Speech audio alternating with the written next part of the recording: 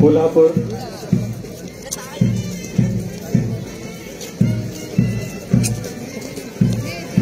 और उनके पीछे मध्य भारत, जिसकी अगुवाई वंशिका और चैतन्य कर रहे हैं।